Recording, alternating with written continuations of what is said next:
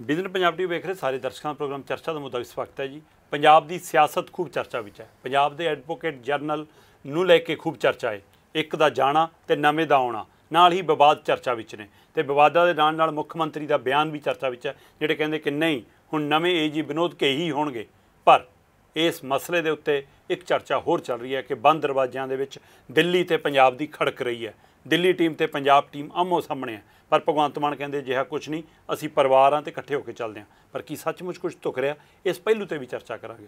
ਤੇ ਚਰਚਾ Z plus ਸੁਰੱਖਿਆ ਦੀ। ਉਸ ਮਸਲੇ ਨੇ ਵੀ ਇੱਕ ਵਾਰ ਫਿਰ ਇਹ ਸਵਾਲ ਖੜਾ ਕੀਤਾ ਕਿ ਕੀ ਦਿੱਲੀ ਦਬਦਬਾ ਬਣਾ ਰਿਹਾ, ਦਿੱਲੀ ਧੱਕੇ ਨਾਲ ਕੁਝ ਹਾਸਲ ਕਰਨਾ ਚਾਹੁੰਦਾ। ਪੰਜਾਬ ਦੇ ਵਿੱਚ ਰਾਸ਼ਟਰੀ ਕਨਵੀਨਰ ਨੂੰ ਪੰਜਾਬ ਕਨਵੀਨਰ ਕਿਉਂ ਲੱਗਣਾ ਪਿਆ, ਇਸ ਦੀਆਂ ਵੀ ਚਰਚਾਵਾਂ। ਤੇ ਚਰਚਾ ਸੁਪਰੀਮ ਕੋਰਟ ਦੀ ਆ, ਜੋ ਉਸ ਬਿਆਨ ਦੀ, ਉਸ ਟਿੱਪਣੀ ਦੀ, ਉਸ ਬੋਲਾਂ ਦੀ, ਜਿਹੜੀ ਕਹਿੰਦੀ ਕਿ ਹਾਂ ਜਿਹੜਾ ਇਹ, ਇਹਨਾਂ ਦੀ ਸੰਸਥਾ ਹੈ ਈਡੀ ਉਸ ਨੂੰ ਜੋ ਛੂਟ ਹੈ ਉਹ ਮਨਜ਼ੂਰ ਹੈ, ਕਿਉਂਕਿ ਉਸ ਦਾ ਅਧਿਕਾਰ ਖੇਤਰ ਹੈ। ਸੋ ਸੁਪਰੀਮ ਕੋਰਟ ਦੇ ਬੋਲ ਕਾਨੂੰਨੀ ਉਸ ਦਾਇਰੇ 'ਚ ਰਹਿ ਕੇ ਨੇ, ਜਿਹੜੀ ਉਸ ਸੰਸਥਾ ਦੇ ਅਧਿਕਾਰ ਬਣਦੇ ਨੇ ਈਡੀ ਦੇ ਜੋ ਅਧਿਕਾਰ ਬਣਦੇ ਨੇ। ਪਰ ਕੀ ਈਡੀ ਦੀ ਦੁਰਵਰਤੋਂ ਸਰਕਾਰਾਂ ਕਰ ਰਹੀਆਂ ਨੇ ਜਾਂ ਨਹੀਂ, ਇਹ ਵੀ ਚਰਚਾ ਹੈ। ਸੋ ਇਹ ਸਾਰੇ ਪਹਿਲੂਆਂ ਦੀ ਚਰਚਾ ਕਰਾਂਗੇ। ਚਰਚਾ ਕਰਨ ਲਈ ਸੀਨੀਅਰ ਪੱਤਰਕਾਰ ਸੁਸ਼ੀਲ ਸਾਂਝੀ ਸਾਡੇ ਨਾਲ ਨੇ। ਭਾਈ ਸਵਾਗਤ ਕਰਦੇ ਹਾਂ। ਸ਼ੁਕਰੀਆ ਦੀਪਕ ਜੀ ਸਾਰੇ ਦਰਸ਼ਕਾਂ ਦਾ ਵੀ ਸਵਾਗਤ ਹੈ। ਭਾਜੀ ਮੈਂ ਤਾਜੇ ਦੋਨੇ ਮਾਮਲਿਆਂ ਤੋਂ ਗੱਲ ਸ਼ੁਰੂ ਕਰਨਾ। ਚਾਹੁੰਦਾ ਕਿ ਇੱਕ ਪਾਸੇ ਸੁਰੱਖਿਆ ਦਾ ਮਾਮਲਾ ਤੇ ਦੂਸਰੇ ਪਾਸੇ ਸਾਡੇ ਜਿਹੜਾ ਪੰਜਾਬ ਦੇ ਚੀਫ ਸੀਗੇ ਹੈਨਾ ਉਹਨਾਂ ਨੂੰ ਲੈ ਕੇ। ਸੋ ਇੱਕ ਪਾਸੇ ਏਜੀ ਨੂੰ ਐਡਵੋਕੇਟ ਜਨਰਲ ਦਾ ਮਾਮਲਾ ਤੇ ਦੂਸਰੇ ਪਾਸੇ ਜੈਟ ਪਲੱਸ ਸੁਰੱਖਿਆ ਦਾ ਮਾਮਲਾ। ਦੋਏ ਵੱਖੋ-ਵੱਖ ਮਾਮਲੇ ਨੇ ਪਰ ਦੋਵਾਂ ਦਾ ਧੁਰਾ ਪੰਜਾਬ ਦੀ ਟੀਮ ਤੇ ਦਿੱਲੀ ਦੀ ਟੀਮ ਹੈ। ਤੇ ਦੋਵਾਂ 'ਚ ਟਕਰਾਅ ਦੀਆਂ ਖਬਰਾਂ ਆ ਰਹੀਆਂ ਨੇ ਜਦੋਂ ਕਿ ਭਗਵੰਤ ਮਾਨ ਕਹਿ ਰਹੇ ਨੇ ਅਜਿਹਾ ਕੁਝ ਨਹੀਂ ਹੈ। ਭਗਵੰਤ ਮਾਨ ਹੋਰਾਂ ਨੇ ਹੁਣ ਫੇਰ ਇਹ ਗੱਲ ਕਹੀ ਹੈ ਕਿ ਵਿਨੋਦ ਕਈ ਹੀ ਜਿਹੜੇ ਆ ਨਵੇਂ ਐਡਵੋਕੇਟ ਜਨਰਲ ਜਿਹੜੇ ਹੋਣਗੇ। ਤੇ ਠੀਕ ਹੈ ਸਰਕਾਰ ਦਾ ਫੈਸਲਾ ਕੋਈ ਗੱਲ ਨਹੀਂ। ਪਰ ਇਹ ਵੀ ਜਿਹੜਾ ਇਹ ਨਹੀਂ ਹੈ ਕਿ ਵਿਰੋਧੀ ਤੇ ਜਿਹੜੀ ਕੋਈ ਇਲਜ਼ਾਮ ਲਾ ਰਹੀ ਹੈ ਜਾਂ ਵਿਰੋਧੀ ਜਿਹੜੀਆਂ ਪਾਰਟੀਆਂ ਜਾਂ ਕੁਝ ਜਥੇਬੰਦੀਆਂ ਜਿਹੜੀਆਂ ਆ ਖਾਸ ਤੌਰ ਤੇ ਸਿੱਖ ਜਥੇਬੰਦੀਆਂ ਇਤਰਾਜ਼ ਕਰ ਰਹੀਆਂ ਵੀ ਹੁਣ ਸਾਨੂੰ ਕਿੱਥੇ ਇਨਸਾਫ ਮਿਲਣਾ?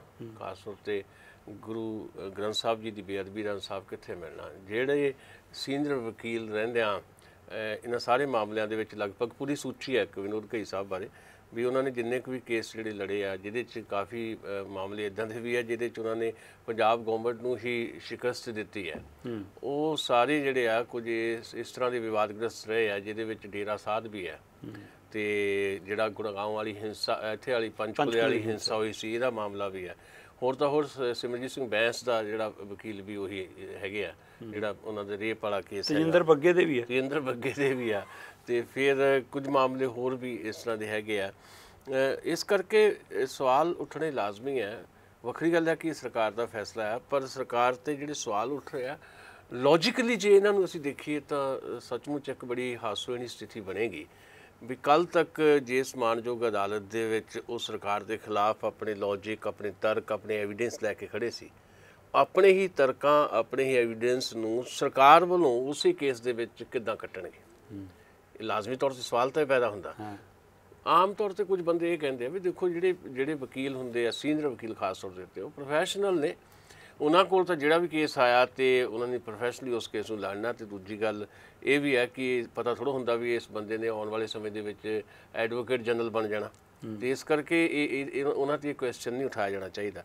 ਪਰ ਜਿਹੜਾ ਬੇਸਿਕਲੀ ਸਵਾਲ ਇਹ ਹੈ ਵੀ ਅਸਲ 'ਚ ਕੋਈ ਮਾਮਲਾ ਤਾਂ ਹੋਵੇ ਜਿਹਦੇ 'ਚੋਂ ਮਤਲਬ ਇਦਾਂ ਦਾ ਮਾਮਲਾ ਜੇ ਸਰਕਾਰ ਨਾਲ ਉਲਝੀ ਹੋਵੇ ਜਿਸ ਕੇਸ 'ਚ ਉਹ ਨਾ ਇਨਵੋਲਵ ਹੋਣ। ਡੀਜੀਪੀ ਸਮੇਤ ਸੈਣੀ ਹੈਂ, ਸਮੇਤ ਭਾਰਤ ਆਸ਼ੂ। ਵਿਜੇ ਸਿੰਘਲਾ ਉਹਨਾਂ ਦੇ ਵਕੀਲ ਨੇ। ਹਾਂ ਮਤਲਬ ਜਿਹੜੇ ਕਰਪਸ਼ਨ ਦੇ ਕੇਸਿਸ ਵੀ ਹੈਗੇ ਉਹਦੇ 'ਚ ਵੀ ਉਹਨਾਂ ਨੂੰ ਬਚਾਉਣ ਦੀ ਲੜਾਈ ਹੋ ਰਹੀ ਹੁਣ ਸਰਕਾਰ ਵੱਲੋਂ ਕਿੱਦਾਂ ਉਹ ਸਾਰੀਆਂ ਚੀਜ਼ਾਂ ਨੂੰ ਕੱਟਣਗੇ? ਤੇ ਇਹ ਲੱਗਦਾ ਕਿ ਜਿੱਦਾਂ ਮੈਨੂੰ ਯਾਦ ਆ ਗਿਆ ਰਾਮ ਜੇਠ ਮਲਾਨੀ। ਹਾਂ। ਮਤਲਬ ਸੀਨੀਅਰ ਮੋਸਟ ਸਾਡੇ ਵਕੀਲ ਰਹੇ ਨੇ ਤੇ ਹਮੇਸ਼ਾ ਹੀ ਉਹਨਾਂ ਨੇ ਬਹੁਤੇ ਜਿਹੜੇ ਕੇਸਿਸ ਜਿਹੜੇ ਇਦਾਂ ਦੇ ਫੜੇ ਵਿਵਾਦਗ੍ਰਸਤ ਕੇਸਿਸ ਤੇ ਬਾਅਦ ਵਿੱਚ ਐਨਡੀਏ ਗਵਰਨਮੈਂਟ ਨੇ ਉਹਨਾਂ ਨੂੰ ਆਪਣਾ ਕਾਨੂੰਨ ਮੰਤਰੀ ਬਣਾ ਲਿਆ ਸੀ। ਹਨਾ ਬਾਅਦ ਵਿੱਚ ਵੀ ਕਾਨੂੰਨ ਮੰਤਰੀ ਬਣ ਕੇ ਵੀ ਉਹਨਾਂ ਨੇ ਸਰਕਾਰ ਦੇ ਖਿਲਾਫ ਹੀ ਕੁਝ ਨਾ ਕੁਝ ਇਦਾਂ ਦਾ ਕੀਤਾ। ਹੁਣ ਕੀ ਇੱਥੇ ਤਾਂ ਨਹੀਂ ਪੰਜਾਬ ਦੇ ਵਿੱਚ ਇਦਾਂ ਦੀ ਸਥਿਤੀ ਬਣ ਜਾਏਗੀ। ਕਿਉਂਕਿ ਪਹਿਲਾਂ ਵੀ ਐਡਵੋਕੇਟ ਜਨਰਲ ਜਿਹੜੇ ਸਾਡੇ ਚੰਨੀ ਸਰਕਾਰ ਵੇਲੇ ਜਿਹੜੇ ਆ ਉਹ ਮਤਲਬ 3 ਮਹੀਨਿਆਂ ਦੇ ਵਿੱਚ ਚਾਰ ਐਡਵੋਕੇਟ ਜਨਰਲ ਜਿਹੜੀ ਹੈ ਇਹ ਲੜੀ ਕਿਤੇ ਉਦਾਂ ਤਾਂ ਨਹੀਂ ਚੱਲ ਪਈ ਉਹੀ ਕੁਛ ਤਾਂ ਨਹੀਂ ਹੋ ਗਿਆ ਫਿਰ ਫ਼ਰਕ ਕੀ ਹੋਇਆ? ਤੇ ਕਿਉਂ ਨਹੀਂ ਮਤਲਬ ਅ, ਕੋਈ ਸਲਾਹ مشورہ ਕਰਕੇ ਸਾਰੀਆਂ ਚੀਜ਼ਾਂ ਕੀਤੀਆਂ ਜਾਂਦੀਆਂ ਪਹਿਲੀ ਗੱਲ ਤਾਂ ਇਹ ਵੱਡਾ ਸਵਾਲ ਹੈ ਕਿ ਅ, ਜਿਹੜੇ ਪਹਿਲੇ ਐਡਵੋਕੇਟ ਜਨਰਲ ਹੈ ਉਹਨਾਂ ਦੀ ਨਾਰਾਜ਼ਗੀ ਕੀ ਹੈ ਜੀ। ਹਨਾ ਉਹ ਜਿਹੜੀ ਜਿਹੜੇ ਸਾਡੇ ਕੋਲ ਖਬਰਾਂ ਕਿ ਉਹ ਨਾਰਾਜ਼ ਸੀਗੇ ਨਾਰਾਜ਼ ਕਿਉਂ ਸੀ ਜਿਹੜੀ ਤੁਸੀਂ ਦਿੱਲੀ ਵਾਲੀ ਗੱਲ ਕਹਿੰਦੇ ਆ ਉਹ ਵੀ ਉੱਥੇ ਗੱਲ ਇੱਕ ਹੈਗੀ ਹੈ ਕਿ ਕੁਝ ਮਾਮਲੇ ਜਿੱਦਾਂ ਖਾਸ ਤੌਰ ਦੇ ਉੱਤੇ ਇਹਦੀ ਅਸੀਂ ਤਸਦੀਕ ਨਹੀਂ ਕਰਦੇ ਵੈਸੇ ਪਰ ਇਹ ਵੀ ਰਾਘਵ ਚੱਡਾ ਹੋਰਾਂ ਦੀ ਜਿਹੜੀ ਨਿਯੁਕਤੀ ਹੋਈ ਐਡਵਾਈਜ਼ਰੀ ਕਮੇਟੀ ਦੇ ਚੇਅਰਮੈਨ ਜਦੋਂ ਲਾਏ ਗਏ ਤੇ ਇੱਕ ਜੋਗਿੰਦਰ ਸਿੰਘ ਨਾਂ ਦੇ ਜਿਹੜੇ ਵਕੀਲ ਆ ਉਹਨਾਂ ਨੇ ਉਹਨਾਂ ਨੂੰ ਚੈਲੰਜ ਕੀਤਾ ਹੋਇਆ। ਤੇ ਇੱਕ ਸੁਣਨ ਚ ਆਇਆ ਕਿ ਕਿਹਾ ਗਿਆ ਐਡਵੋਕੇਟ ਜਨਰਲ ਅਨਮੋਲ ਰਤਨ ਸਿੱਧੂ ਹੋਰਾਂ ਨੂੰ ਵੀ ਤੁਸੀਂ ਇਹਦੇ ਚ ਜਿਹੜਾ ਇੱਕ ਉਹਨਾਂ ਨੂੰ ਮਨਾਓ ਵੀ ਇਹ ਕੋਈ ਕੇਸ ਵਾਪਸ ਲੈਣ। ਉਹ ਕਹਿੰਦੇ ਵੀ ਮੇਰਾ ਕੰਮ ਨਹੀਂ ਹੈ ਤੇ ਉਹ ਵਿਅਕਤੀ ਕੁਝ ਇਸ ਕਿਸਮ ਦਾ ਹੈਗਾ ਵੀ ਜਿਹਨੂੰ ਮੋੜਿਆ ਨਹੀਂ ਜਾ ਸਕਦਾ। ਤੇ ਫਿਰ ਸੁਣ ਚ ਆਇਆ ਕਿ ਕਿਹਾ ਗਿਆ ਫਿਰ ਤੁਹਾਡਾ ਇੱਥੇ ਕੰਮ ਕੀ ਹੈ ਜੇ ਤੁਸੀਂ ਸਾਡੀ ਗੱਲ ਨਹੀਂ ਸੁਣਨੀ? ਸੋ ਉਹਨਾਂ ਨੇ 19 ਤਰੀਕ ਦਾ ਰਿਜ਼ਾਈਨ ਦਿੱਤਾ ਹੋਇਆ ਸੀ ਤਿੰਨ ਲਾਈਨ ਦਾ ਰਿਜ਼ਾਈਨ ਹੈ। ਤੇ ਉਸ ਤੋਂ ਬਾਅਦ ਉਹਨਾਂ ਨੇ ਤਿੰਨ ਜਾਣਿਆਂ ਦਾ ਹੀ ਧੰਨਵਾਦ ਕੀਤਾ ਭਗਵੰਤ ਮਾਨ ਦਾ ਅਰਵਿੰਦ ਕੇਜਰੀਵਾਲ ਤੇ ਰਾਘਵ ਚੱਡਾ ਹੋਰਾਂ ਦਾ। ਤੇ ਉਹ ਧੰਨਵਾਦ ਇਨਵਰਟਡ ਕੌਮਿਆਂ ਚ। ਅਸਲ ਚ ਇਹਨਾਂ ਤਿੰਨਾਂ ਨਾਲ ਹੀ ਉਹਨਾਂ ਦੀ ਉਹਨਾਂ ਨੇ ਨਾਰਾਜ਼ਗੀ ਦੱਸਿਆ ਕਿ ਤਿੰਨੇ ਮੇਰੇ ਤੇ ਦਬਾਅ ਬਣਾਉਂਦੇ ਸੀ ਕੀ ਮਤਲਬ ਹੋਇਆ? ਇਹਦਾ ਮਤਲਬ ਸਾਫ਼ ਤੌਰ ਤੇ ਇਹ ਹੈ।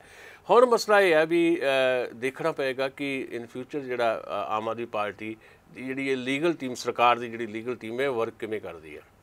ਕਿਉਂਕਿ ਜਿਹੜੇ ਮਸਲੇ ਬਹੁਤ ਵੱਡੇ ਪੱਧਰ ਤੇ ਪੈਦਾ ਹੋ ਗਏ ਨੇ ਖਾਸ ਤੌਰ ਤੇ ਕਾਨੂੰਨੀ ਨੁਕਤਾ ਨਜ਼ਰ ਤੋਂ ਸਰਕਾਰ ਦਾ ਪੱਖ ਕਾਫੀ ਕਮਜ਼ੋਰ ਹੈ। ਇਹ ਕਮਜ਼ੋਰ ਪੱਖ ਨੂੰ ਕੀ ਵਿਨੋਦ ਕਈ ਸਾਹਿਬ ਜਿਹੜੇ ਆ ਉਹਨੂੰ ਮਜ਼ਬੂਤੀ ਵੱਲ ਲੈ ਕੇ ਜਾਂਦੇ ਆ? ਸਵਾਲ ਉੱਠਣੇ ਲਾਜ਼ਮੀ ਰਹਿਣਗੇ। ਤੇ ਦੂਜਾ ਜਿਹੜਾ ਸਿਕਿਉਰਿਟੀ ਵਾਲਾ ਇਸ਼ੂ ਹੈ ਉਹਦੇ ਚ ਭਾਵੇਂ ਪੰਜਾਬ ਪੁਲਿਸ ਨੇ ਇਹਨੂੰ ਡਿਨਾਈ ਕੀਤਾ। ਹਾਂ। ਪੰਜਾਬ ਪੁਲਿਸ ਨੇ ਕਿਹਾ ਕਿ ਨਹੀਂ ਇਦਾਂ ਦੀ ਗੱਲ ਨਹੀਂ। ਪਰ ਸੁਖਪਾਲ ਸੁ ਖਹਿਰਾ ਹੋਰਾਂ ਨੇ ਪ੍ਰਤਾਪ ਸੁ ਬਾਜਵਾ ਜਾਂ ਕਾਂਗਰਸ ਪਾਰਟੀ ਦੀ ਲੀਡਰਸ਼ਿਪ ਨੇ ਜਿਹੜੇ ਦਸਤਾਵੇਜ਼ ਦਿਖਾਏ ਆ ਉਹਦੇ ਵਿੱਚ ਪਹਿਲੇ ਨੰਬਰ ਤੇ ਜਿਹੜੀ Z+ ਸਿਕਿਉਰਿਟੀ ਜਿਹੜੀ ਹੈ ਉਹ ਅਰਵਿੰਦ ਕੇਜਰੀਵਾਲ ਨੂੰ ਆ ਤੇ ਉਹਨਾਂ ਦੇ ਕਾਲਮ ਦੇ ਵਿੱਚ ਅੱਗੇ ਜਾ ਕੇ ਲਿਖਿਆ ਕਨਵੀਨਰ ਆਮ ਆਦਮੀ ਪਾਰਟੀ ਪੰਜਾਬ। ਹੁਣ ਦੇਖੋ ਜਿਹੜਾ ਆਮ ਆਦਮੀ ਪਾਰਟੀ ਦਾ ਸਟਰਕਚਰ ਹੈ ਉਹਦੇ ਉਹਦੇ ਸਟਰਕਚਰ ਦੇ ਮੁਤਾਬਕ ਆਮ ਆਦਮੀ ਪਾਰਟੀ ਦੇ ਇੱਕੋ ਕਨਵੀਨਰ ਨੇ ਜਿਹੜੇ 올 ਇੰਡੀਆ ਦੇ ਕਨਵੀਨਰ ਨੇ ਉਹ ਹੈਗੇ ਆ ਅਰਵਿੰਦ ਕੇਜਰੀਵਾਲ ਜਿਹੜੀ ਨੈਸ਼ਨਲ ਕਨਵੀਨਰ ਨੇ ਠੀਕ ਹੈ ਨਾ ਜੀ? ਜਿਹੜੀਆਂ ਸਟੇਟਸ ਹੈਗੀਆਂ ਉੱਥੇ ਕਨਵੀਨਰ ਨਹੀਂ ਹੈਗੇ ਉੱਥੇ ਪ੍ਰੈਜ਼ੀਡੈਂਟ ਹੈ। ਸ਼ੁਰੂ ਦੇ ਵਿੱਚ ਆਮ ਆਦਮੀ ਪਾਰਟੀ ਨੇ ਕਨਵੀਨਰ ਲਾਏ ਸੀ ਸਟੇਟਸ ਦੇ ਵਿੱਚ। ਪੰਜਾਬ ਦੇ ਵਿੱਚ ਆਮ ਆਦਮੀ ਪਾਰਟੀ ਦੇ ਹੈੱਡ ਕੌਣ ਨੇ? ਭਗਵੰਤ ਮਾਨ ਨੇ। ਭਾਵੇਂ ਉਹ ਚੀਫ ਮਿਨਿਸਟਰ ਬਣ ਗਏ ਨੇ ਪਰ ਪੰਜਾਬ ਦੇ ਪ੍ਰੈਜ਼ੀਡੈਂਟ ਵੀ ਨੇ। ਸੇ ਕੀ ਉਹਨਾਂ ਨੇ ਆਪਣਾ ਜਿਹੜਾ ਸਟਰਕਚਰ ਉਹਨੂੰ ਭੰਗ ਕਰ ਦਿੱਤਾ? ਤੇ ਉਹ ਭੰਗ ਕਦੋਂ ਕੀਤਾ? ਉਹਦਾ ਪਤਾ ਹੀ ਨਹੀਂ ਕਿਸੇ ਨੂੰ ਲੱਗਾ। ਜਾਂ ਇਹ ਗੱਲ ਹੈ ਕਿ ਸਿਰਫ ਤੇ ਸਿਰਫ ਤੁਸੀਂ ਪੰਜਾਬ 'ਚ ਜਦੋਂ ਐਂਟਰ ਕਰਨਾ ਉਦੋਂ ਵੀ ਪੰਜਾਬ ਸਰਕਾਰ ਤੁਹਾਨੂੰ Z+ ਸਿਕਿਉਰਿਟੀ ਦੇਵੇ ਇਹਦਾ ਇੰਤਜ਼ਾਮ ਕਰਨ ਵਾਸਤੇ। ਤੁਸੀਂ ਆਪਣੀ ਕਦਰ ਘਟਾਈ ਆਪੇ ਕਰ ਲਈ ਤੁਸੀਂ ਨੈਸ਼ਨਲ ਕਨਵੀਨਰ ਤੋਂ ਸਟੇਟ ਕਨਵੀਨਰ ਬਣ ਗਏ। ਉਹ ਵੀ ਪੰਜਾਬ ਦੇ। ਇਹ ਸਵਾਲ ਕਾਂਗਰਸ ਪਾਰਟੀ ਉਠਾ ਰਹੀ ਹੈ। ਵੱਖਰੀ ਗੱਲ ਹੈ, ਪੰਜਾਬ ਪੁਲਿਸ ਨੇ ਇਹਨੂੰ ਡਿਨਾਈ ਕੀਤਾ। ਪਰ ਮੈਨੂੰ ਇਹ ਲੱਗਦਾ ਹੈ ਕਿ ਇਹ ਦਰੁਸਤ ਅਪਰੋਚ ਨਹੀਂ ਹੈ, ਕਿਉਂਕਿ as a chief minister Delhi ਦੇ ਅਰਵਿੰਦ ਕੇਜਰੀਵਾਲ ਕੋ ਪਹਿਲੇ ਸਿਕਿਉਰਿਟੀ ਹੈਗੀ ਹੈ ਫਿਰ ਦੂਜੀ ਗੱਲ ਹੈ ਕਿ ਕੇਂਦਰ ਸਰਕਾਰ ਵੱਲੋਂ ਵੀ ਉਹਨਾਂ ਨੂੰ Z+ ਸਿਕਿਉਰਿਟੀ ਦਿੱਤੀ ਗਈ ਹੈ। ਇੰਨੀ ਕਿਹੜੀ ਸਿਕਿਉਰਿਟੀ ਚਾਹੀਦੀ ਹੈ? ਪਾਰਟੀ ਦਾ ਨਾਂ ਆਮ ਆਦਮੀ ਪਾਰਟੀ ਹੈ। ਤੇ ਸਿਕਿਉਰਿਟੀ ਜਿਹੜੀ ਆ ਵੀਆਈਪੀ ਤੋਂ ਵੀ ਉੱਪਰ ਵੀਵੀਆਈਪੀ ਵਾਲੀ ਚਾਹੀਦੀ ਹੈ। ਇਹ ਕੋਈ ਕਿਤੇ ਨਾ ਕਿਤੇ ਤੌਖਲੇ ਹੈਗੇ। ਜੇ ਕਿਸੇ ਮੁੱਖ ਮੰਤਰੀ ਨੇ ਪੰਜਾਬ ਆਉਣਾ ਜੀ। ਕਿਸੇ ਵੀ ਸੂਬੇ ਦੇ ਨੇ ਆਉਣਾ ਔਰ ਪੰਜਾਬ ਸਰਕਾਰ ਨੂੰ ਸੁਰੱਖਿਆ ਲਈ ਕੋਈ ਲਾਉਣੀ ਆ ਚਾਹੇ Z ਚਾਹੇ Z+ ਚਾਹੇ 22 ਤਾਂ ਉਹ ਕੋਈ ਹਰਜ ਨਹੀਂ। ਪਰ ਉਹਦੇ ਲਈ ਉਹਨਾਂ ਦੇ ਨਾਲ ਲਿਸਟਾਂ 'ਚ ਪਾਉਣ ਦੀ ਲੋੜ ਤਾਂ ਨਹੀਂ ਹੁੰਦੀ ਨਾ ਕੋਈ ਵੀ ਮਹਿਮਾਨ ਹੁੰਦਾ ਇੱਕ ਗੱਲ। ਦੂਸਰਾ ਇਹਦਾ ਪਹਿਲੂ ਜਿਹੜਾ ਤੁਸੀਂ ਕਨਵੀਨਰ ਨਾਲ ਕਹਿ ਰਹੇ ਹੋ ਕੀ ਇਹ ਸਿਰਫ ਸਿਕਿਉਰਿਟੀ ਲੈਣ ਲਈ ਕਨਵੀਨਰ ਪੰਜਾਬ ਕਨਵੀਨਰ ਲਿਖਿਆ ਜਾਂ ਪੰਜਾਬ ਦੇ ਐਮਐਲਏ ਤੇ ਕੰਟਰੋਲ ਰੱਖਣ ਲਈ ਲਿਖਿਆ? ਮੈਂ ਇਹ ਜਾਣਨਾ ਚਾਹੁੰਦਾ ਕਿਉਂਕਿ ਪੰਜਾਬ ਦੇ ਵਿੱਚ ਭਗਵੰਤ ਮਾਨ ਪ੍ਰਧਾਨ ਨੇ। ਜੀ। ਕੀ ਇਹ ਪਾਰਟੀ ਦੇ ਸੰਵਿਧਾਨ ਦੇ ਅਨੁਸਾਰ ਪ੍ਰਧਾਨ ਨੇ ਜਾਂ ਐਲਾਨੇ ਹੋਏ ਪ੍ਰਧਾਨ ਨੇ? ਕਿਉਂਕਿ ਸੰਵਿਧਾਨ ਸਟਰਕਚਰ ਉਹਨਾਂ ਦਾ ਕਨਵੀਨਰ ਵਾਲਾ ਹੀ ਹੈ। ਸੋ ਉਸ ਹਵਾਲੇ ਨਾਲ ਪੰਜਾਬ ਦੇ ਹੁਣ ਹੋਲੀ ਸੋਲੀ ਆਮ ਆਦਮੀ ਪਾਰਟੀ ਦੇ ਮਾਲਕ ਅਰਵਿੰਦ ਕੇਜਰੀਵਾਲ ਨੇ ਜੇਕਰ ਉਹ ਦਸਤਾਵੇਜ਼ ਸਹੀ ਹੈ ਜਿਹੜੇ ਹਵਾਲਾ ਦਿੱਤਾ ਜਾ ਰਿਹਾ ਉਹ ਕਹਿੰਦੇ ਅਦਾਲਤ 'ਚ ਪੇਸ਼ ਕੀਤਾ ਉੱਥੋਂ ਕਾਪੀ ਕਢਾਈ ਹੈ। ਬਿਲਕੁਲ ਉਹ ਕਾਪੀ ਉੱਥੋਂ ਕਢਾਈ ਗਈ ਹੈ ਪਰ ਮਸਲਾ ਇਹ ਹੈ ਕਿ ਜੇ ਤੁਸੀਂ 올 ਇੰਡੀਆ ਦੇ ਕਨਵੀਨਰ ਹੋ ਫਿਰ ਤਾਂ ਤੁਸੀਂ ਸਾਰੀ ਪਾਰਟੀ ਦੇ ਪਹਿਲੇ ਮਾਲਕ ਹੋ। ਫਿਰ ਤੁਹਾਨੂੰ ਪੰਜਾਬ ਦੇ ਕਨਵੀਨਰ ਹੋਣ ਦੀ ਕੀ ਜ਼ਰੂਰਤ ਹੈ? ਤੁਸੀਂ ਪੰਜਾਬ ਦਾ ਜਿਹੜਾ ਮਰਜ਼ੀ ਕਨਵੀਨਰ ਲਾ ਦਿਓ, ਤੁਹਾਡੇ ਅੰਡਰ ਹੀ ਕੰਮ ਕਰਦਾ ਉਹਨੇ। ਜੇ ਤੁਸੀਂ 올 ਇੰਡੀਆ ਦੇ ਕਨਵੀਨਰ ਹੋ, ਪਾਰਟੀ ਤੁਹਾਡੀ ਹੈ। ਤੇ ਪਾਰਟੀ ਵੀ ਤੁਹਾਡੀ ਹੈ ਕਿ ਪਾਰਟੀ ਦੇ ਵਿੱਚ ਹੋਰ ਕੋਈ ਹੈ ਵੀ ਹੈ ਨਹੀਂ? ਡਿਸੀਜਨ ਜਿਹੜੇ ਜਿਹੜੇ ਮੇਕਰ ਤੁਸੀਂ, ਉਹ ਸਾਰੀਆਂ ਜਿਹੜੇ ਜਿਹੜੇ ਡਿਸੀਜਨ ਤੁਸੀਂ ਲੈਣੇ ਆ, ਤੁਹਾਡੀ ਮਰਜ਼ੀ ਨਾਲ ਸਾਰਾ ਕੁਝ ਚੱਲਣਾ ਹੈ। ਫਿਰ ਤੁਹਾਨੂੰ ਇਹ ਲੈ- ਇਹਦੀ ਕੀ ਜ਼ਰੂਰਤ ਪੈ ਗਈ? ਜਾਂ ਫਿਰ ਪੰਜਾਬ ਪੁਲਿਸ ਜਿਹੜੀ ਕਹਿ ਰਹੀ ਹੈ ਕਿ ਨਹੀਂ ਇਦਾਂ ਦੀ ਕੋਈ ਗੱਲ ਨਹੀਂ ਹੈਗੀ, ਉਹ ਫਿਰ ਹੋਰ ਐਵੀਡੈਂਸ ਆਪਣੇ ਦੇਣ ਕਿ Z+ ਸਿਕਿਉਰਿਟੀ ਉਹਨਾਂ ਨੂੰ ਦਿੱਤੀ ਗਈ ਹੈ ਜਾਂ ਨਹੀਂ ਦਿੱਤੀ ਗਈ, ਇਹ ਦੱਸਣ। Z+ ਸਿਕਿਉਰਿਟੀ ਪੰਜਾਬ ਚ ਆਉਂਦੇ ਜੀ, ਜਿੱਦਾਂ ਤੁਸੀਂ ਵੀ ਕਿਹਾ ਕਿ ਕੋਈ ਵੀ ਆਉਂਦਾ ਰੂਟੀਨ ਚ ਸਿਕਿਉਰਿਟੀ ਦੇ ਇੰਤਜ਼ਾਮ ਜਿਹੜੇ ਕਰਨੇ ਹੁੰਦੇ ਆ। ਹੁਣ ਮੈਂ ਤਾਂ ਹੈਰਾਨ ਹੁੰਦਾ ਵੀ ਸਿਕਿਉਰਿਟੀ ਦੇ ਇਸ਼ੂ ਦੇ ਉੱਤੇ ਵੀ ਕਈ ਵਾਰੀ ਮੈਂ ਜਦੋਂ ਲਿਸਟ ਪੜ੍ਹੀ, ਮੈਂ ਤਾਂ ਬੜਾ ਹੈਰਾਨ ਰਹਿ ਗਿਆ ਕਿ ਉੱਥੇ ਕੁਝ ਇਦਾਂ ਦੇ ਲੋਕ ਹੈ। ਜਿਹੜੇ ਭੁਗਤ ਰਹੇ ਨੇ, ਬਹੁਤ ਵੱਡੇ ਵੱਡੇ ਕੇਸ ਸਮੇਤ ਸਿੰਘ ਸੈਣੀ ਨੂੰ ਵੀ Z+ ਸਿਕਿਉਰਿਟੀ ਹੈ ਈਵਨ ਮਨਿੰਦਰਜੀਤ ਸਿੰਘ ਬੇਟਾ। ਮਤਲਬ ਜਿਹੜੇ ਪੋਲੀਟੀਕਲੀ ਹੁਣ ਕਿਤੇ ਵੀ ਨਹੀਂ ਆ, ਸਿਰਫ ਤੇ ਸਿਰਫ ਐਂਟੀ ਟੈਰਰਿਸਟ ਫਰੰਟ ਬਣਾ ਕੇ ਉਹ ਕੁਝ ਨਾ ਕੁਝ ਉੱਚੀ ਬੋਲਦੇ ਆ ਟੀਵੀ ਚੈਨਲਾਂ ਦੇ ਉੱਤੇ, ਹੋਰ ਹੀ ਤਰ੍ਹਾਂ ਦੀਆਂ ਗੱਲਾਂ ਗੁੱਲਾਂ ਕਰਦੇ ਉਹਨਾਂ ਵਾਸਤੇ ਵੀ ਜ਼ੈਡ ਪਲੱਸ ਸਿਕਿਉਰਿਟੀ ਹੈ ਇਹ ਸਿਕਿਉਰਿਟੀਜ਼ ਦੇਖੋ ਤੁਸੀਂ ਉਹ ਸਿੱਧੂ ਮੂਸੇਵਾਲੇ ਦੇ ਮਾਮਲੇ 'ਚ ਜਦੋਂ ਅਸੀਂ ਗੱਲ ਕਰਦੇ ਹਾਂ ਸਿਕਿਉਰਿਟੀ ਨੂੰ ਕੱਟਣ ਦੇ ਨਾਂ ਤੇ ਤੁਸੀਂ ਬਹੁਤ ਸਾਰੇ ਇਦਾਂ ਦੇ ਲੋਕ ਜਦੋਂ ਤੁਸੀਂ ਸਿਕਿਉਰਿਟੀ ਘਟਾ ਲਈ ਤੇ ਦੂਜੇ ਦਿਨ ਇਦਾਂ ਦੇ ਹਾਦਸੇ ਵੀ ਵਾਪਰ ਜਾਂਦੇ ਆ। ਪਰ ਕੁਝ ਲੋਕ ਜਿਹੜੇ ਆ, ਉਹ ਸਿਰਫ ਤੇ ਸਿਰਫ ਤੱਤੀਆਂ ਠੰਡੀਆਂ ਗੱਲਾਂ ਕਰਕੇ ਆਪਣੀਆਂ ਸਿਕਿਉਰਿਟੀਆਂ ਬਹਾਲ ਕਰਕੇ ਲਗਾਤਾਰ ਚੱਲਦੇ ਰਹਿੰਦੇ ਆ। ਤੇ ਉਹ ਸਾਡੇ ਇੱਕ ਕਿਸਮ ਦੇ ਜਿੱਦਾਂ ਕਹਿੰਦੇ ਹੁੰਦੇ ਨੇ ਆਮ ਤੌਰ ਤੇ ਸਾਡੀ ਪੰਜਾਬੀ ਭਾਸ਼ਾ ਦੇ ਵਿੱਚ ਇੱਕ ਮੁਹਾਵਰਾ ਲਿਆ ਜਾਂਦਾ ਵੀ ਜਿਹੜਾ ਸਰ- ਸਰਕਾਰੀ ਨੌਕਰੀ ਜਿਹੜਾ ਕੋਈ ਹਾਸਲ ਕਰ ਲਵੇ ਉਹ ਤਾਂ ਅਸਲੀ ਸਰਕਾਰ ਦਾ ਜਵਾਈ ਤਾਂ ਉਹੀ ਹੈ। ਤੇ ਇਹ ਸਿਕਿਉਰਿਟੀ ਵਾਲਾ ਵੀ ਇਹੀ ਹੈ ਇਹ ਵੀ ਇਹ ਵੀ ਸਰਕਾਰੀ ਜਵਾਈ। ਸਰਕਾਰੀ ਜਵਾਈ ਹੈ। ਤੇ ਦੂਜੀ ਗੱਲ ਭਾਰ ਕਿਤੇ ਪੈਂਦਾ? ਭਾਰ ਸਾਰਾ ਆਮ ਬੰਦੇ ਤੇ ਪੈਂਦਾ। ਆਮ ਬੰਦੇ ਦੀ ਜਿਹੜੀ ਜਿਹੜੀ ਜਿਹੜੀ ਸੂਬੇ ਦੀ ਆਮਦਨ ਆਮ ਬੰਦੇ ਰਾਹੀਂ ਹੀ ਜਾਏਗੀ ਨਾ। ਸੁਸ਼ੀਲ ਜੀ ਪੰਜਾਬ ਦੇ ਐਮਐਲਏ ਦੀਆਂ ਫੋਟੋਆਂ ਉਚੇਚੇ ਤੌਰ ਤੇ ਸ਼ੇਅਰ ਕੀਤੀਆਂ ਜਾ ਰਹੀਆਂ ਕਿ ਆ ਜੀ ਭ- ਅਰਵਿੰਦ ਕੇਜਰੀਵਾਲ ਨੂੰ ਮਿਲਣ ਪਹੁੰਚੇ। ਸੋ ਕੀ ਇਸ ਨੂੰ ਕੁਝ ਵਿਰੋਧੀ ਤਰ੍ਹਾਂ ਹੰਗਾਮਾ ਬਣਾ ਰਹੇ ਕਿ ਇਹ ਪਰੇਡ ਹੋ ਰਹੀ ਆ? ਇਹ ਸ਼ਕਤੀ ਪ੍ਰਦਰਸ਼ਨ ਦਾ ਖੇਡ ਚੱਲ ਰਿਹਾ ਕਿ ਕਿਹੜੇ ਅਹ, ਰਾਘਵ ਚੱਡਾ ਨਾਲ ਖੜੇ ਨੇ ਕਿਹੜੇ ਭਗਵੰਤ ਮਾਨ ਨਾਲ ਖੜੇ ਨੇ? ਕੀ ਅੰਦਰ ਅਜਿਹੀ ਖੇਡ ਹੋ ਗਈ ਹੈ ਸ਼ੁਰੂ? ਕੀ ਅਜਿਹਾ ਲੱਗ ਰਿਹਾ ਕਿ ਕੁਝ ਕੱਲ ਨੂੰ ਪਾਰਟੀ ਦੋ ਫਾੜ ਵੀ ਹੋ ਸਕਦੀ ਹੈ ਕੋਈ ਬਾਗੀ ਸੁਰ ਵੀ ਹੋ ਸਕਦਾ? ਪਰ ਭਗਵੰਤ ਮਾਨ ਹੋਰਾਂ ਨੇ ਅੱਜ ਕੈਬਨਿਟ ਦੀ ਬੈਠਕ ਤੋਂ ਬਾਅਦ ਕਿਹਾ ਕਿ ਨਹੀਂ ਸਾਡਾ ਪਰਿਵਾਰ ਇੱਕ ਆ। ਦੇਖੋ, ਉਹ ਤਾਂ ਕਹਿਣਾ ਵੀ ਹੁੰਦਾ, ਦੇਖੋ, ਪਰ ਇੱਕ ਗੱਲ ਜ਼ਰੂਰ ਹੈ ਕਿ ਜਿਹੜੇ 92 ਐਮਐਲਏ ਹੈਗੇ, ਉਹਦੇ ਚ ਚਲੋ ਤੁਸੀਂ ਜਿਹੜੇ ਮੰਤਰੀ ਉਹਨਾਂ ਨੂੰ ਸਾਈਡ ਤੇ ਵੀ ਰੱਖ ਲਓ ਮੁੱਖ ਮੰਤਰੀ ਨੂੰ ਵੀ ਸਾਈਡ ਤੇ ਰੱਖ ਲਓ। ਮੰਨ ਲਓ ਤੁਸੀਂ 10 11 ਜਿਹੜੇ ਜਾਂ 13 15 ਮੰਤਰੀ ਬਣਾ ਲਏ 15 ਦੇ ਕਰੀਬ ਜਿਹੜੇ ਤਿੰਨ ਹੋਰ ਹਾਲੇ ਬਣਾਉਣੇ ਆ, ਉਹ ਉਹ ਤਾਂ ਹੈ ਹੀ ਸਰਕਾਰ ਦੇ ਵਿੱਚ ਬੈਠੇ, ਉਹਨਾਂ ਨੇ ਆਪਣੇ ਢੰਗ ਨਾਲ ਕੰਮ ਕਰਨਾ। ਬਾਕੀ ਜਿਹੜੇ ਲੋਕ ਹੈ ਮਤਲਬ ਜਿਹੜੇ ਨੀਅਰ ਅਬਾਊਟ 75 76 ਜਿਹੜੇ ਬਾਕੀ ਐਮਐਲਏ ਉਹ ਕੀ ਕਰ ਰਹੇ ਆ? ਉਹਨਾਂ ਦੀ ਕਿਤੇ ਐਕਟੀਵਿਟੀਜ਼ ਆਪਾਂ ਨੂੰ ਦਿਖਾਈ ਦਿੱਤੀ ਹੈ ਕਿ ਉਹ ਪਾਰਟੀ ਦੇ ਸਟਰਕਚਰ ਦੇ ਵਿੱਚ ਕਿਤੇ ਨਾ ਕਿਤੇ ਬੇਸਿਕ ਜਿਹੜਾ ਰੋਲ ਨਿਭਾਉਣਾ ਹੁੰਦਾ ਹੇਠਲੇ ਲੈਵਲ ਤੇ ਆਪਣੇ ਹਲਕਿਆਂ 'ਚ ਨਿਭਾ ਰਹੇ ਆ। ਕਿਤੇ ਬੋਲਦੇ ਨਹੀਂ ਉਹ ਦਿਖਾਈ ਦਿੰਦੇ। ਸੋ ਮੈਨੂੰ ਲੱਗਦਾ ਕਿ ਇਹਦੇ 'ਚ ਅਹ, ਜਿਹੜੀ ਗੱਲ ਤੁਸੀਂ ਕਹਿ ਰਹੇ ਹੋ ਉਸ ਕਿਸਮ ਦੀ ਕਤਾਰਬੰਦੀ ਭਾਵੇਂ ਨਾ ਦਿਖਾਈ ਦੇਵੇ ਪਰ ਚੁੱਪ ਚਪੀਤੇ ਥੱਲੇ ਕੁਝ ਹੋ ਰਿਹਾ ਕੰਮ ਹੋ ਰਿਹਾ ਜਿਹੜਾ ਆ। ਮੈਨੂੰ ਇਹ ਵੀ ਲੱਗ ਰਿਹਾ ਕਿ ਜਿਸ ਤਰ੍ਹਾਂ ਤੁਸੀਂ ਹੁਣੀ ਇੰਟਰੋਡਕਸ਼ਨ 'ਚ ਗੱਲ ਕੀਤੀ ਹੈ ਕਿ ਖਟਪਟ ਦੀਆਂ ਖਬਰਾਂ ਵੀ ਆ ਰਹੀਆਂ ਖੜਕ ਰਹੀ ਆ ਆਪੋ ਵਿੱਚ ਹੀ ਉਹ ਜਿਹੜੀ ਬੰਦ ਕਮਰਾ ਮੀਟਿੰਗ ਹੋਈ ਹੈ ਦਿੱਲੀ ਦੇ ਵਿੱਚ ਰਾਘਵ ਚੱਡਾ ਤੇ ਅਰਵਿੰਦ ਕੇਜਰੀਵਾਲ ਤੇ ਭਗਵੰਤ ਮਾਨ ਦੀ ਹੋਈ ਹੈ ਉਹਦੀ ਮੀਟਿੰਗ ਦੇ ਵੇਰਵੇ ਜਨਤਕ ਜਿਹੜੇ ਨਹੀਂ ਕੀਤੇ ਗਏ। ਤੇ ਮੈਨੂੰ ਇਹ ਲੱਗਦਾ ਇਨ ਫਿਊਚਰ ਜਿਹੜਾ ਹੋਣ ਵਾਲਾ ਆ ਜਿਸ ਤਰ੍ਹਾਂ ਦੀ ਸਿਚੁਏਸ਼ਨਸ ਡਿਵੈਲਪ ਹੋ ਰਹੀਆਂ ਉਹਦੇ ਵਿੱਚ ਭਗਵੰਤ ਮਾਨ ਦੀਆਂ ਤਾਕਤਾਂ ਨੂੰ ਜਿਸ ਤਰ੍ਹਾਂ ਸੀਮਿਤ ਕੀਤਾ ਗਿਆ।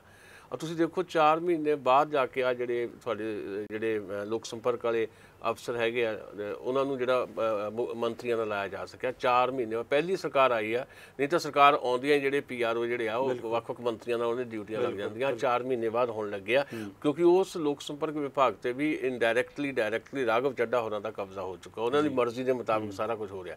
ਉਹ ਸਾਰੀਆਂ ਚੀਜ਼ਾਂ ਤਕਲੀਫ ਤਾਂ ਕਿਤੇ ਨਾ ਕਿਤੇ ਦੇ ਰਹੀਆਂ। ਵੱਖਰੀ ਗੱਲ ਹੈ ਕਿ ਤੁਸੀਂ ਆਪਣੀ ਕੈਬਨਿਟ ਦੀ ਮੀਟਿੰਗ ਤੋਂ ਬਾਅਦ ਆ ਕੇ ਕਹਿੰਦੇ ਸਾਰਾ ਕੁਝ ਠੀਕ ਹੈ। ਜਦੋਂ ਤੁਸੀਂ ਕਹਿੰਦੇ ਸਾਰਾ ਕੁਝ ਠੀਕ ਹੈ ਤਾਂ ਸਾਰਾ ਕੁਝ ਠੀਕ ਨਹੀਂ ਹੈ। ਠੀਕ ਨਹੀਂ ਹੈ। ਕਹਿਣਾ ਪੈ ਰਿਹਾ। ਇਹ ਕਹਿਣਾ ਕਹਿਣਾ ਪੈ ਰਿਹਾ ਤੇ ਇਸ ਕਰਕੇ ਮੈਨੂੰ ਇਹ ਲੱਗ ਰਿਹਾ ਭਾਵੇਂ 2024 ਤੱਕ ਤਾਂ ਐਡਾ ਵੱਡਾ ਰਿਸਕ ਨਹੀਂ ਉਠਾ ਸਕਦੇ ਅਰਵਿੰਦ ਕੇਜਰੀਵਾਲ ਪਰ ਬੜੀ ਜਲਦੀ ਕੁਝ ਨਾ ਕੁਝ ਸਿਚੁਏਸ਼ਨਸ ਇਦਾਂ ਦੀ ਡਿਵੈਲਪ ਹੋਣਗੀਆਂ ਕਿ ਭਗਵੰਤ ਮਾਨ ਹੋਰਾਂ ਦੇ ਖਿਲਾਫ ਕੁਝ ਮਾਹੌਲ ਇਦਾਂ ਦਾ ਤਿਆਰ ਕੀਤਾ ਜਾਏਗਾ ਕੁਝ ਗਲਤੀਆਂ ਕਰਵਾਈਆਂ ਜਾਣਗੀਆਂ ਤੇ ਇੱਕ ਜਿਹੜੀ ਇੱਕ ਵੇਵ ਜਿਹੜੀ ਹੈ ਉਹ ਇਸ ਢੰਗ ਦੇ ਨਾਲ ਚਲਾਉਣ ਦੀ ਕੋਸ਼ਿਸ਼ ਹੋਏਗੀ। ਤਾਂ ਜੋ ਇਹ ਗੱਲ ਆ ਜਾਵੇ ਕਿ ਭਗਵੰਤ ਮਾਨ ਤੋਂ ਕੁਝ ਸਾਂਭਿਆ ਨਹੀਂ ਜਾ ਰਿਹਾ। ਇਸ ਕਰਕੇ ਕੋਈ ਹੋਰ ਵਿਅਕਤੀ ਚਾਹੀਦਾ। ਪ੍ਰੋਫੈਸਰ ਬਲਜਿੰਦਰ ਕੌਰ ਵਰਗੇ ਲੋਕ ਜਿਹੜੇ ਉਹਨਾਂ ਨੂੰ ਨਾਲ ਲਾ ਕੇ ਟੈਂਪਰੇਰੀ ਸਿਚੁਏਸ਼ਨਸ ਜਿਹੜੀਆਂ ਡਿਵੈਲਪ ਕਰਕੇ 2-4 ਮਹੀਨੇ ਵਾਸਤੇ ਤੇ ਫਿਰ ਸਿੱਧੇ ਤੌਰ ਤੇ ਅਰਵਿੰਦ ਕੇਜਰੀਵਾਲ ਜਾਂ ਰਾਘਵ ਚੱਡਾ ਰਾਹੀਂ ਇਸ ਸੂਬੇ ਨੂੰ ਸੰਭਾਲਣ ਦੀ ਤਿਆਰੀ ਹੋ- ਸਕਦੀ। ਪਰ ਇਹ 2024 ਤੱਕ ਜ਼ਿਆਦਾ ਰਿਸਕੀ ਹੈ। 2024 ਤੋਂ ਬਾਅਦ ਖੁੱਲ੍ਹੇਆਮ ਹੀ ਹੋਏਗਾ। ਇਹ ਹੋਏਗਾ। ਤੇ ਇੱਧਰ ਤੁਸੀਂ ਕਹਿ ਰਹੇ ਹੋ ਕਿ ਬਾਹਰ ਆ ਕੇ ਕਹਿਣਾ ਕਿ ਸਭ ਕੁਝ ਠੀਕ ਹੈ ਮਤਲਬ ਠੀਕ ਨਹੀਂ ਆ। ਅਕਾਲੀ ਦਲ 'ਚ ਵੀ ਕਹਿੰਦੇ ਸਭ ਕੁਝ ਠੀਕ ਨਹੀਂ ਹੈ ਅਕਾਲੀ ਦਲ ਦੀ ਕੋਰ ਕਮੇਟੀ ਦੀ ਬੈਠਕ ਹੁੰਦੀ ਹੈ ਉਸ ਬੈਠਕ 'ਚ ਝੁੰਦਾ ਉਹਨਾਂ ਦੀ ਰਿਪੋਰਟ ਵਿਚਾਰੀ ਜਾਂਦੀ ਹੈ। ਪਰ ਉਹ ਕਹਿੰਦੇ ਵਿਚਾਰ ਲਈ ਜੀ ਪਰ ਦੱਸਣੀ ਨਹੀਂ ਕਿਸੇ ਨੂੰ। ਦੇਖੋ ਇਹਨਾਂ ਨੂੰ ਸਮਝ ਜਾਣਾ ਚਾਹੀਦਾ ਸੀ ਸ਼੍ਰੋਮਣੀ ਅਕਾਲੀ ਦਲ ਨੂੰ ਵੀ ਉਹਨਾਂ ਇਹਨਾਂ ਦੀ ਹਾਲਤ ਆਉਣ ਵਾਲੇ ਸਮੇਂ ਦੇ ਵਿੱਚ ਹੋਰ ਪਤਲੀ ਹੋਣੀ ਹੈ। ਜਦੋਂ ਮਨਪ੍ਰੀਤ ਇਆਲੀ ਨੇ ਰਾਸ਼ਟਰਪਤੀ ਚੋਣ ਦਾ ਜਿਹੜਾ ਵੋਟ ਪਾਉਣ ਦਾ ਜਿਹੜਾ ਬਾਈਕਾਟ ਕੀਤਾ ਸੀ। ਪਰ ਉਹਦੇ ਬਾਵਜੂਦ ਵੀ ਇਹ ਗੱਲ ਸ਼ਾਇਦ ਇਹਨਾਂ ਦੇ ਖਾਨੇ ਨਹੀਂ ਪਈ ਕਿ ਤੁਸੀਂ ਜੇ ਪ੍ਰੋਸੀਜਰ ਹੈ ਤੁਹਾਡੀ, ਇੱਕ ਪ੍ਰਕਿਰਿਆ ਹੈ, ਉਹਨੂੰ ਉਸ ਰੂਪ ਦੇ ਵਿੱਚ ਚਲਾਉਣਾ ਚਾਹੀਦਾ। ਸੀ ਰੂਟੀਨ ਦੇ ਵਿੱਚ ਜਦੋਂ ਤੁਹਾਡੀ ਇਸ ਤਰ੍ਹਾਂ ਦੀ ਇੱਕ ਕੋਰ ਕਮੇਟੀ ਦੀ ਮੀਟਿੰਗ ਉਸ ਤੋਂ ਬਾਅਦ ਜਿਹੜੀ ਇੱਕ ਝੁੰਦਾ ਕਮੇਟੀ ਦੀ ਰਿਪੋਰਟ ਦੀ ਜਿਹੜੀ ਗੱਲ ਤੁਸੀਂ ਕਰਦੇ ਹੋ, ਉਹਦੇ ਵਾਸਤੇ ਇੱਕ ਪ੍ਰੋਸੀਜਰ ਸੀ ਵੀ ਤੁਸੀਂ ਉਹ ਪਹਿਲਾਂ ਰਿਵਿਊ ਕਮੇਟੀ ਜਾਂ ਸਮੀਖਿਆ ਕਮੇਟੀ ਕੋ ਭੇਜਣੀ ਸੀ।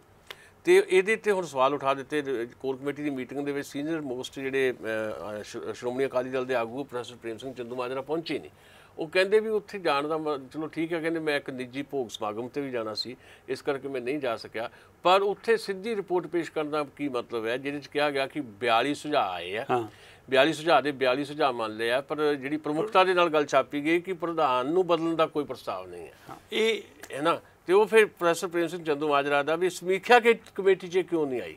ਸਮੀਖਿਆ ਕਮੇਟੀ ਉਹਦੀ ਰਿਵਿਊ ਕਮੇਟੀ ਉਹਦਾ ਰਿਵਿਊ ਕਰਦੀ ਫਿਰ ਜਾ ਕੇ ਫਿਰ ਜਾ ਕੇ ਕੋਰ ਕਮੇਟੀ ਜਾਣਾ। ਕੋਰ ਕਮੇਟੀ ਜਾਣੀ ਇਹਦਾ ਮਤਲਬ ਹੈ ਕਿ ਸ਼੍ਰੋਮਣੀ ਸ਼੍ਰੋਮਣੀ ਅਕਾਲੀ ਦਲ ਦੀ ਜਿਹੜੀ ਲੀਡਰਸ਼ਿਪ ਜਿਹੜੀ ਇੱਕ ਪਰਿਵਾਰ ਦੇ ਕੋਲ ਹੈ ਉਹਨੂੰ ਅੰਦਰ ਖਾਤੇ ਚੈਲੰਜ ਤਾਂ ਹੈ ਵੱਖਰੀ ਗੱਲ ਹੈ ਕਿ ਝੁੰਦਾ ਕਮੇਟੀ ਨੇ ਉਹਨਾਂ ਦੀ ਮਰਜ਼ੀ ਦੀ ਰਿਪੋਰਟ ਤਿਆਰ ਕਰਕੇ ਦੇ ਦਿੱਤੀ ਹੈ।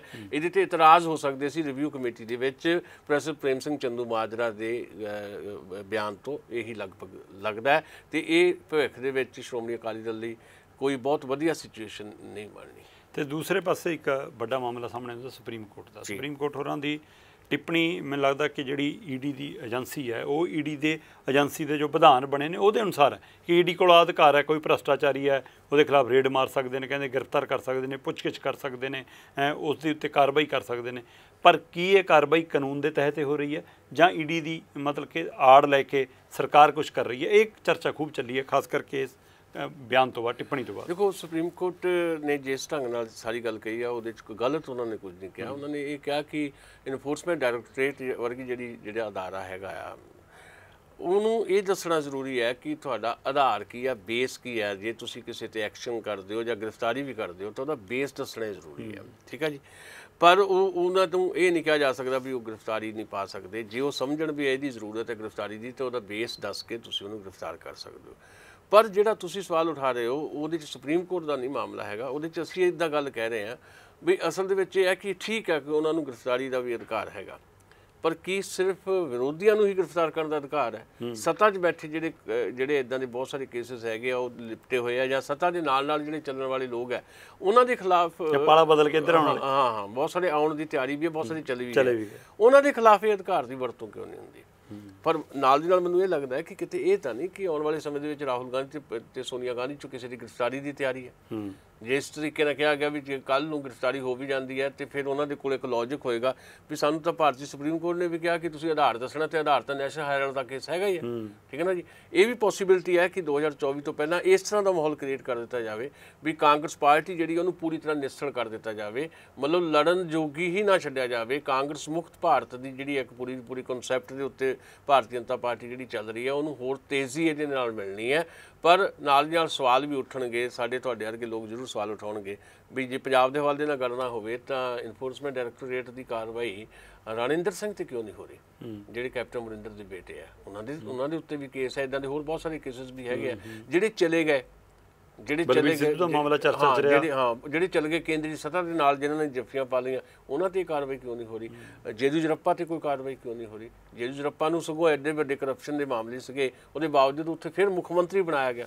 ਮਤਲਬ ਤੁਹਾਡੇ ਤੁਹਾਡੇ ਕੋਲ ਜਿਹੜੇ ਲੋਕ ਆ ਜਾਂਦੇ ਨੇ ਉਹ ਜਿਹੜੇ ਕਾਲੇ ਆ ਉਹ ਚਿੱਟੇ ਹੁੰਦੇ ਚਲੇ ਜਾਂਦੇ ਆ ਹਨਾ ਜੀ ਤੁਹਾਡੇ ਕੋਲੇ ਜਾਦੂ ਦੀ ਕਾਂ ਆ ਕੇ। ਉਹਦੇ ਹੰਸ ਬਣ ਜਾਂਦੇ ਆ। ਹੰਸ ਬਣ ਜਾਂਦੇ ਆ ਸੋ ਇਹ ਆ ਮਾਮਲਾ ਉਹ ਸੁਪਰੀਮ ਕੋਰਟ ਵੱਲੋਂ ਇਹ ਠੀਕ ਕਿਹਾ ਗਿਆ ਕਿ ਜਿਹੜੀ ਇੱਕ ਅਧਿਕਾਰ ਹੈ ਇਨਫੋਰਸਮੈਂਟ ਡਾਇਰੈਕਟੋਰੇਟ ਦਾ ਉਹ ਅਧਿਕਾਰ ਨੂੰ ਚੈਲੰਜ ਨਹੀਂ ਕੀਤਾ ਜਾ ਸਕਦਾ ਪਰ ਉਹ ਅਧਿਕਾਰ ਦੀ ਵਰਤੋਂ ਮੈਂ ਉਹੀ ਹੋ ਰਹੀ ਹੈ ਇਹੀ ਜਾਣਨਾ ਚਾਹੁੰਦਾ ਕਿ ਸੁਸ਼ੀਲ ਜੀ ਪਹਿਲਾਂ ਇੰਦਰਾ ਦੇ ਟਾਈਮ 'ਚ ਕਹਿੰਦੇ ਇਨਕਮ ਟੈਕਸ ਸੀ ਸੀਬੀਆਈ ਇਹਨੂੰ ਖੂਬ ਵਰਤਿਆ ਜਾਂਦਾ ਸੀ ਰਜੀਵ ਦੇ ਦੌਰ 'ਚ ਵੀ ਫਿਰ ਹੁਣ ਇਹਨਾਂ ਵਾਲੇ ਦੌਰ ਦੇ ਵਿੱਚ ਤਾਂ ਕਹਿੰਦੇ ਸਾਰੀਆਂ ਹੀ ਚੋਣ ਕਮਿਸ਼ਨ ਵੀ ਇਹ ਕੀ ਕਾਰਨ ਹੈ ਕਿ ਜਿਹੜੀਆਂ ਤਰ੍ਹਾਂ ਆਜ਼ਾਦ ਹੋ ਕੇ ਕੰਮ ਕਰਨਾ ਚਾਹੀਦਾ ਜਿਹਨਾਂ ਸੰਸਥਾਵਾਂ ਨੂੰ ਉਹਨਾਂ ਦੇ ਉਹਨਾਂ ਨੂੰ ਐਦਾਂ ਤੋਤੇ ਕਿਉਂ ਬਣਾਇਆ ਜਾਂਦਾ? ਦੇਖੋ ਗੱਲ ਇਹ ਹੈ ਇਹ ਤਾਂ ਡਾਕਟਰ ਮਨਮੋਹਨ ਸਿੰਘ ਦੇ ਵੇਲੇ ਇਹੀ ਵਿਰੋਧੀ ਧਿਰ ਚ ਸੀਗੇ ਭਾਰਤੀ ਜਨਤਾ ਪਾਰਟੀ ਜਿਹੜੇ ਇਹੀ ਕਹਿੰਦੇ ਹੁੰਦੇ ਸੀ ਸੀਬੀਆਈ ਸਰਕਾਰੀ ਤੋਤਾ ਹੂੰ।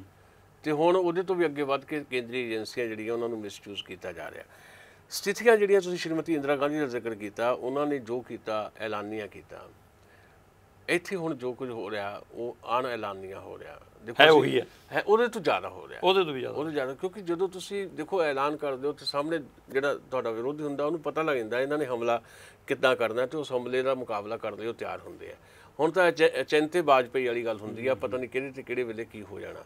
ਮਤਲਬ ਹੁਣ ਤਾਂ ਲਫ਼ਜ਼ ਤੋਂ ਇੱਕ ਸ਼ਬਦ ਤੋਂ ਵੀ ਜਿਹੜਾ ਡਰ ਲੱਗਦੀ ਆ ਮਤਲਬ ਸਤਾ ਨੂੰ ਜਿੱਦਾਂ ਡਰ ਲੱਗਦਾ 84 ਸਾਲ ਦੇ ਵਰਬਰਾ ਰਾਓ ਵਰਗੇ ਕਵੀ ਜਿਹੜੇ ਆ ਤੁਸੀਂ ਜੇਲ੍ਹਾਂ 'ਚ ਸੁੱਟੇ ਹੋਏ ਆ ਜ਼ੁਬੇਰ ਅਹਿਮਦ ਵਰਗਾ ਪੱਤਰਕਾਰ ਉਹਦੀ ਜ਼ਮਾਨਤ ਨਹੀਂ ਹੋਣ ਦਿੰਦੇ ਤੁਸੀਂ। ਤੇ ਉਹਦਾ ਬਾਕੀ ਤੁਹਾਡੇ ਜਿਹੜੇ ਨਾਲ ਜਿਹੜੇ ਲਕਾ ਤੁਕਾ ਹੈਗੇ ਜੋ ਮਰਜ਼ੀ ਕਹੀ ਜਾਣ। ਤੇ ਉਹ ਫਿਰ ਠੀਕ ਹੈ। ਹੁਣ ਇਸ ਵੇਲੇ ਦੀ ਸਥਿਤੀ ਇਹ ਹੈ ਕਿ ਜਿੱਦਾਂ ਪਾਰਲੀਮੈਂਟ ਦੇ ਵਿੱਚ ਜੋ ਕੁਝ ਹੋਇਆ ਇੱਕੋ ਦਿਨ ਦੇ ਦੋ ਘਟਨਾਵਾਂ ਮੈਂ ਜ਼ਿਕਰ ਕਰਨੀਆਂ ਚਾਹੁੰਦਾ। ਪਾਰਲੀਮੈਂਟ ਦੇ ਵਿੱਚ, ਰਾਜ ਸਭਾ ਦੇ ਵਿੱਚ 19 ਰਾਜ ਸਭਾ ਦੇ ਮੈਂਬਰ, ਦੂਏ ਦਿਨ ਸੰਜੇ ਸਿੰਘ ਨੂੰ ਵੀ ਸਸਪੈਂਡ ਕੀਤਾ ਗਿਆ, ਹੁਣ 20 ਹੋ ਗਏ ਆ। ਮਤਲਬ ਪਹਿਲੇ ਦਿਨ 19 ਰਾਜ ਸਭਾ ਦੇ ਮੈਂਬਰ ਜਿਹਦੇ ਚੋਂ 7 ਟੀਐਮਸੀ ਦੇ ਸੀਗੇ ਉਹਨਾਂ ਨੂੰ ਬੋਲਣ ਨਹੀਂ ਦਿੱਤਾ ਗਿਆ, ਉਹਨਾਂ ਨੂੰ ਸਸਪੈਂਡ ਕਰਤਾ ਇੱਕ ਹਫ਼ਤੇ ਵਾਸਤੇ। ਦੂਜੇ ਦਿਨ ਇਹਨੂੰ ਵੀ ਕਰਤਾ, ਸੰਜੇ ਸਿੰਘ ਨੂੰ ਵੀ ਕਰਤਾ। ਉਦੋਂ ਹੀ ਜਿੱਦਣ 19 ਸਸਪੈਂਡ ਕੀਤੇ ਸੀ, ਉਦੋਂ ਹੀ ਬਾਹਰ ਜਿਹੜੀ ਸੋਨੀਆ ਗਾਂਧੀ ਜਿਹੜੀ ਆ, ਉਹਦੀ ਪੁੱਛਗਿੱਛ ਹੋ ਰਹੀ ਸੀ ਈਡੀ ਦੇ ਵਿੱਚ। ਤੇ ਜਿਹੜੇ ਕਾਂਗਰਸੀ ਸੰਸਦ ਮੈਂਬਰ ਅਮਨਪੂਰਵਕ ਆਪਣਾ ਸ਼ਾਂਤੀ ਮਾਰਚ ਕਰ ਰਹੇ ਸੀ, ਸਣੇ ਰਾਹੁਲ ਗਾਂਧੀ ਤੇ ਵਿੱਚ ਹੀ ਉਹ ਜਿਹੜੇ ਖੜਗੇ ਸਾਹਿਬ ਹੈਗੇ ਆ, ਉਹਨਾਂ ਸਾਰਿਆਂ ਨੂੰ ਬੱਸਾਂ ਦੇ ਵਿੱਚ ਬਿਠਾ ਕੇ ਹਿਰਾਸਤ ਵਿੱਚ ਲੈ ਲਿਆ ਗਿਆ। ਦੂਜੇ ਦਿਨ ਵੀ ਇਦਾਂ ਹੋਇਆ। ਸੋ ਇਹ ਨਾ ਤੁਸੀਂ ਪਾਰਲੀਮੈਂਟ 'ਚ ਗੱਲ ਕਰਨ ਦੇਣੀ ਆ ਨਾ ਪਾਰਲੀਮੈਂਟ ਤੋਂ ਬਾਹਰ ਬੋਲਣ ਦੇਣਾ। ਦੋ ਹੀ ਤਰੀਕੇ ਹੁੰਦੇ ਆ ਆਪੋਜੀਸ਼ਨ ਦੇ ਕੋਲ ਜਾਂ ਲੋਕਾਂ ਕੋਲ ਲੜਨ ਦੇ। ਇੱਕ ਐਕਸਟਰਾ ਪਾਰਲੀਮੈਂਟਰੀ ਸਟਰਗਲ ਹੁੰਦਾ ਇੱਕ ਪਾਰਲੀਮੈਂਟਰੀ ਸਟਰਗਲ ਹੁੰਦਾ। ਪਾਰਲੀਮੈਂਟਰੀ ਸਟਰਗਲ ਦਾ ਮਤਲਬ ਹੈ ਕਿ ਵੱਖ-ਵੱਖ ਵਿਧੀਆਂ ਦੇ ਨਾਲ ਤੁਸੀਂ ਪਾਰਲੀਮੈਂਟ ਦੇ ਜਾਂ ਅਸੈਂਬਲੀਆਂ ਦੇ ਵਿੱਚ ਆਪਣੀ ਗੱਲ ਰੱਖਣੀ ਹੈ ਪਰ ਪਾਰਲੀਮੈਂਟ ਤੇ ਅਸੈਂਬਲੀਆਂ ਦੇ ਵਿੱਚ ਤੁਹਾਨੂੰ ਬੋਲਣ ਨਹੀਂ ਦੇਣਾ। ਉੱਥੇ ਤੁਸੀਂ ਮੌਨ ਵਰਤ ਵੀ ਨਹੀਂ ਰੱਖ ਸਕਦੇ ਉੱਥੇ ਤੁਸੀਂ ਮਰਨ ਵਰਤ ਤੇ ਵੀ ਨਹੀਂ ਬੈਠ ਸਕਦੇ। ਤੇ ਜੇ ਤੁਸੀਂ ਤਖਤੀਆਂ ਲਹਿਰਾਉਂਦੇ ਆ ਤਾਂ ਵੀ ਤੁਹਾਨੂੰ ਸਸਪੈਂਡ ਕਰ ਦਿੱਤਾ ਜਾਏਗਾ। ਤੇ ਪਾਰਲੀਮੈਂਟ ਤੋਂ ਬਾਹਰ ਜਿਹੜਾ ਤੁਸੀਂ ਮਾਰਚ ਵੀ ਨਹੀਂ ਕਰ ਸਕਦੇ ਅਮਨਪੂਰਵਕ ਸ਼ਾਂਤੀਪੂਰਵਕ ਮਾਰਚ ਵੀ ਨਹੀਂ ਕਰ ਸਕਦੇ ਫਿਰ ਬੋਲਣਾ ਕਿੱਥੇ ਹੈ? ਅਨ ਐਲਾਨੀ ਐਮਰਜੈਂਸੀ ਜਿਹਨੂੰ ਅਸੀਂ ਕਹਿੰਦੇ ਅਨਡਿਕਲੇਅਰਡ ਐਮਰਜੈਂਸੀ ਤੋਂ ਦੇਸ਼ ਜਿਹੜਾ ਆ ਅਨਡਿਕਲੇਅਰਡ ਜਿਹੜੀ ਆ ਡਿਕਟੇਟਰਸ਼ਿਪ ਵੱਲ ਵੱਧਦਾ ਦਿਖਾਈ ਦੇ ਰਿਹਾ ਤੋ ਇਤਿਹਾਸ ਤੋਂ ਸਬਕ ਨਹੀਂ ਸਿੱਖੇ ਜਾ ਰਹੇ। ਭਾਰਤ ਦੇ ਇਤਿਹਾਸ ਤੋਂ ਸਬਕ ਸਿੱਖਣ ਦੀ ਜ਼ਰੂਰਤ ਹੈ। ਦੁਨੀਆ ਦਾ ਇਤਿਹਾਸ ਤਾਂ ਭਰਿਆ ਪਿਆ। ਵੀ ਜਿਹੜੇ ਜਿਹੜੇ ਇਸ ਕਿਸਮ ਦੇ ਜਿਹੜੀਆਂ ਹਕੂਮਤਾਂ ਹੁੰਦੀਆਂ ਉਹ ਲੱਗਦਾ ਹੁੰਦਾ ਜਿਹਦੇ ਕੋਲ ਹਕੂਮਤ ਹੁੰਦੀ ਹੈ ਵੀ ਇਹ ਇਹ ਇਹ ਸਥਾਈ ਹੈ। ਸਥਾਈ ਹੈ। ਪਰ ਕਦੇ ਸਥਾਈ ਨਹੀਂ ਹੋਈ। ਕਦੇ ਸਥਾਈ ਨਹੀਂ। ਪਾਕਿਸਤਾਨ ਸਾਡਾ ਗਵਾਂਢ ਦੇ ਵਿੱਚ ਆ ਹੁਣੀ ਸ਼੍ਰੀਲੰਕਾ ਦਾ ਜੋ ਹਾਲ ਹੋਇਆ ਸੀ ਦੇਖਿਆ ਇੱਕ ਟੱਬਰ ਜਿਹੜਾ ਆ ਪੰਜ ਜਾਣੇ ਸੀ ਸਾਰਾ ਉਹ ਸਾਂਭ ਲਿਆ ਸ਼੍ਰੀਲੰਕਾ ਤੇ ਹੁਣ ਉਹਨਾਂ ਨੂੰ ਦੇਸ਼ ਛੱਡ ਕੇ ਭੱਜਣਾ ਪੈ ਰਿਹਾ। ਜੀ। ਸੋ ਬਿਲਕੁਲ ਇਸ ਸਥਿਤੀ ਤੋਂ ਸਾਫ਼ ਹੈ ਕਿ ਕਦੇ ਵੀ ਕੁਰਸੀ ਚਰਜੀਵੀ ਨਹੀਂ ਹੁੰਦੀ। ਸੋ ਇਸ ਲਈ ਕਦੇ ਵੀ ਸੱਤਾ ਸਥਾਈ ਨਹੀਂ ਹੁੰਦੀ। ਸੋ ਇਸ ਭਲੇਖਿਆਂ ਚੋਂ ਨਿਕਲ ਕੇ ਇਸ ਦੇ ਉੱਤੇ ਗੌਰ ਕਰਨ ਦੀ ਵੀ ਲੋੜ ਹੈ ਕਿ ਲਗਾਤਾਰ ਜੇਕਰ ਤੁਸੀਂ ਇਦਾਂ ਆਪਣੀਆਂ ਤਾਕਤਾਂ ਨੂੰ ਦੁਰਵਰਤੋਂ ਕਰੋਗੇ ਤਾਂ ਇੱਕ ਨਾ ਇੱਕ ਦਿਨ ਰਿਐਕਸ਼ਨ ਵੀ ਚੱਲਣਾ ਪਏਗਾ। ਸੋ ਉਹਦਾ ਉਹਦਾ ਅਸਰ ਵੀ ਚੱਲਣਾ ਪਏਗਾ। ਸੋ ਇਸ ਲਈ ਕੇਂਦਰ ਸਰਕਾਰ ਨੂੰ ਜਾਂ ਸੂਬਿਆਂ ਦੀ ਸਰਕਾਰਾਂ ਨੂੰ ਲੋਕ ਰਾਏ ਲੋਕ ਮਤ ਲੋਕਾਂ ਦੀ ਫਿਕਰਮੰਦੀ ਨੂੰ ਧਿਆਨ 'ਚ ਰੱਖ ਕੇ ਫੈਸਲੇ ਕਰਨੇ ਚਾਹੀਦੇ ਨੇ। ਜੇਕਰ ਧੱਕਾਸ਼ਾਹੀ ਹੋਏਗੀ ਤਾਂ ਉਸ ਦਾ ਫਿਰ ਤੁਹਾਨੂੰ ਆਉਣ ਵਾਲੇ ਦਿਨਾਂ 'ਚ ਹਰਜਾਨਾ ਵੀ ਭੁਗਤਣਾ ਪਏਗਾ। ਇਸ ਲਈ ਫਿਕਰਮੰਦੀ ਵਾਲੀਆਂ ਖਬਰਾਂ ਹੁੰਦੀਆਂ ਨੇ। ਸੋ ਉਹਨਾਂ ਨੂੰ ਲੈ ਕੇ ਵੀ ਹਾਜ਼ਰ ਹੁੰਦੇ ਹਾਂ। ਫਿਰ ਪਰਤਾਂਗੇ ਨਵੇਂ ਮਹਿਮਾਨਾਂ ਨਾਲ ਨਵੇਂ ਵਿਸ਼ਿਆਂ ਨਾਲ। ਤੁਸੀਂ ਵੇਖਦੇ ਰਹੋ ਵਿਜ਼ਨ ਪੰਜਾਬ ਟੀਵੀ ਹਰ ਕਦਮ ਤੁਹਾਡੇ ਨਾਲ। ਮਿਹਰਬਾਨੀ। ਬਹੁਤ ਬਹੁਤ ਧੰਨਵਾਦ।